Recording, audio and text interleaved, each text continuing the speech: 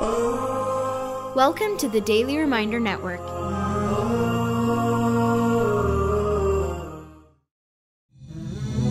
Sunnah Revival by Sheikh Muiz Bukhary.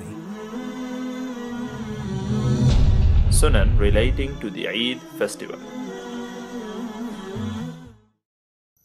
Assalamu alaikum wa rahmatullahi wa barakatuh. My dear brothers and sisters in Islam, for today's episode I would like to touch on the Sunan relating to the beautiful day of Eid which is just around the corner inshallah ta'ala. It is sad in a way that we are nearing the end of this blessed month and we ask Allah subhanahu wa ta'ala to bless us all to attain many more months of Ramadan in the future. Ameen. Now moving on to the list of sunan. Number one on the list is ghusl. It is highly recommended to take a bath before going for the Eid prayer. Just like we take a bath in general before any congregation like Jum'ah and other public gatherings. The next sunnah in line is to eat something before leaving for the prayer and this is specific to Eid al-Fitr which is the festival of breaking the fast after the month of Ramadan. Anas ibn Malik radiallahu anhu states that the Messenger of Allah sallallahu alayhi wa would not go out on the morning of Eid al-Fitr until he had eaten some dates of which he would eat an odd number. The next very important sunnah on the list is to pronounce takbir.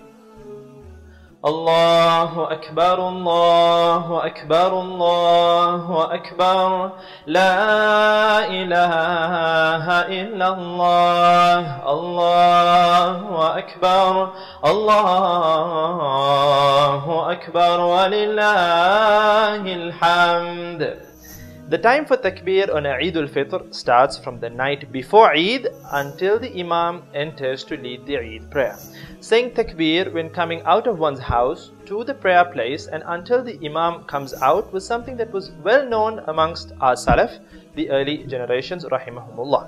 The next sunnah in line is to wish one another on the day of Eid such as saying to one another, تَقَبَّلَ اللَّهُ مِنَّا وَمِنْكُمْ When Allah subhanahu wa ta'ala accept good deeds from us and from you, or Eid Mubarak, and other permissible forms of wishing one another. Next in line is to adorn oneself on the day of Eid. Inna Allah Jameel wa yuhibbu Jamal. Indeed, Allah subhanahu wa ta'ala is beautiful and He loves beauty. So let us beautify ourselves, adorn ourselves with the very best that we have on this beautiful day. The final sunnah that I will be touching on in this episode is to go to the prayer place by one route and to return home using another.